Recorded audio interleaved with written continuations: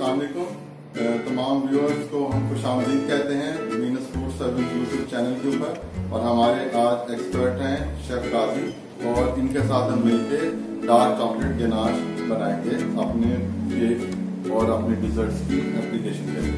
तो सब इसके लिए हमें जो इंग्रेडिएंट्स चाहिए, सबसे पहले हमें इसके लिए चाहिए रिच की cooking rich cream 100 gram packaging dark chocolate 200 gram oil 30 gram और वाटर 30 ग्राम सबसे पहले आप डबल बॉयलर जैसे हमने आपके डबल बॉयलर रेडी करके रखा हुआ है, उसका टेम्परेचर मेंटेन किया हुआ है। उसमें आप अपने सॉस पैन के अंदर सबसे पहले चॉकलेट डालेंगे 200 ग्राम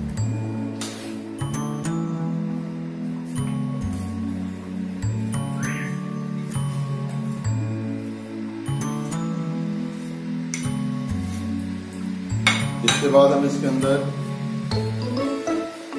कुकिंग रिच क्रीम डालेंगे। 100 ग्राम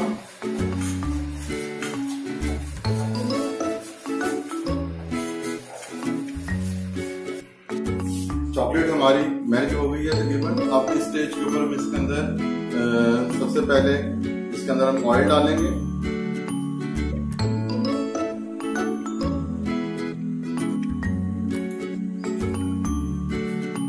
ऑयल के बाद हम इसके अंदर क्रीम डालेंगे 100 ग्राम। क्रीम का वेट करेंगे पहले।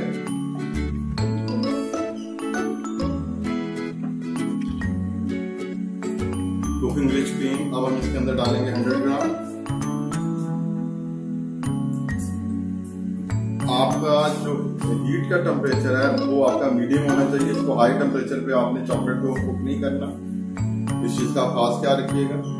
इसको मीडियम हीट को बनाना चाहिए। तो इसके अंदर अभी हमने कुकिंग रिच डाल दी 100 ग्राम 200 ग्राम चॉकलेट के अंदर और ऑयल के अंदर। और जो हमारा फाइनल इंग्रेडिएंट अभी है वाटर इसको हम क्रीम को मिक्स करने के बाद अब इसके अंदर 30 ग्राम पानी डाल देंगे।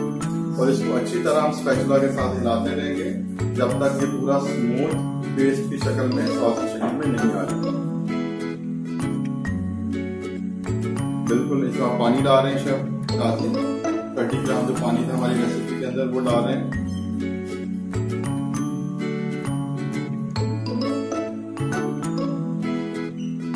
पानी, जैसे आप इसमें अंदर डालें तो आप इसको हीट से रिमूव कर दें और स्पैचुला के साथ इसको सलसल सॉफ्ट हैंड के साथ इसको स्टिर कर दें।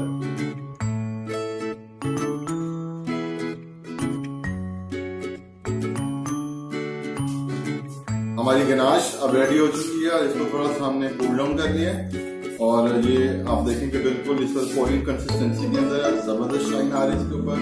स्मूथ टेक्सचर है इसका। और बिल्कुल डार्क जो है वो ब्राउन कलर के अंदर है। तो इसको अब हम चिल्ड किए हुए icing double chocolate butter cream icing cake के ऊपर अप्लाई करेंगे। ओके प्लीज़ अप्लाई करेंगे इसको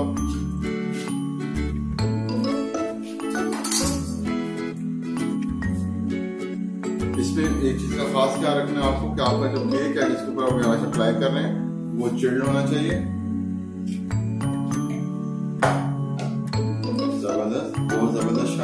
इसके साथ